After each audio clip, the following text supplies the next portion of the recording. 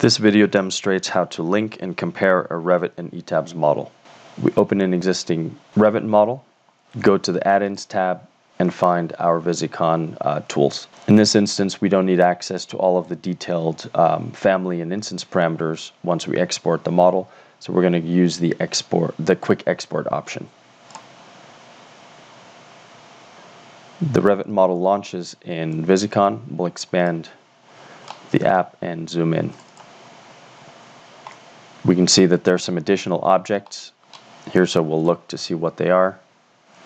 We see their annotations or, or uh, bounding box objects. So I go to visibility, select to turn those annotations off so that I have a cleaner screen. So now we have our Revit model in Visicon. As a next step, we'll bring in the ETABS file. So we go to File, we want to merge in the new ETABS model. If we select the existing model, the geometry of the ETABS model gets merged into this uh, Revit model. In our case, we want to go ahead and select the new option because we want the ETABS model to be handled uh, as a separate independent uh, model. And we'll pick the latest ETABS model in E2K format. We see now that the ETABS model has also been brought in. And what I'm going to do is first turn off, from a visibility perspective, all of the loads. So we're only comparing geometry in Revit on the left against geometry in ETABS on the right.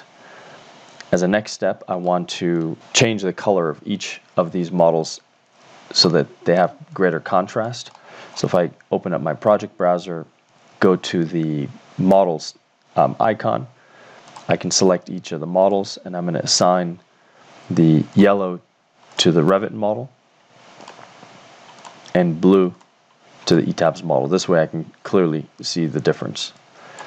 As a next step, we'll select the ETABS model. So our purpose is always to align and move the ETABS geometry because it's simpler than the Revit geometry go to our alignment tab. We've already selected the model, so now we're going to align by objects. I'm going to select this column, outer first, first outer column in the ETABS model and select the same in the Revit model. And you can see immediately it aligns the, uh, the two models. So we'll go ahead and accept. But we notice that, okay, so these interior columns are lined up, but there seems to be a vertical or a z-axis uh, discrepancy. So we're going to repeat the alignment process, and this time we're going to align the typical slabs, assuming that the typical slabs are correct, that there were some changes at, at the roof level. So again, I select the ETABS model, do align by object, start by grabbing the ETABS slab and then select the Revit slab. You can see now that the slabs are lined up, but there's an additional X and Y translation just because the slab boundaries are a little bit different and the centers of each are, are slightly offset. We want to zero out the X and Y translation and just take over the Z between the two slabs and accept.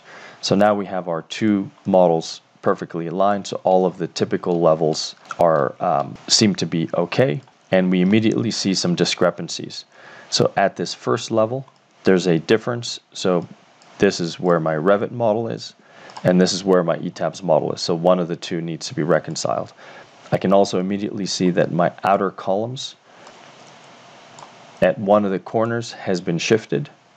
So my ETABS model models the outer column further out than what's modeled in my uh, Revit model.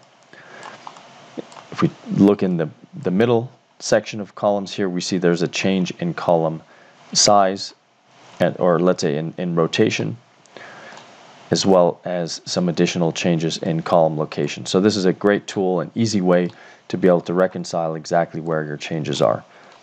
Plus, I can see that here the roof of the Revit model has been raised and is much higher than what I had assumed in my last ETABS model. So again, another area of uh, modification that I need to make in my models.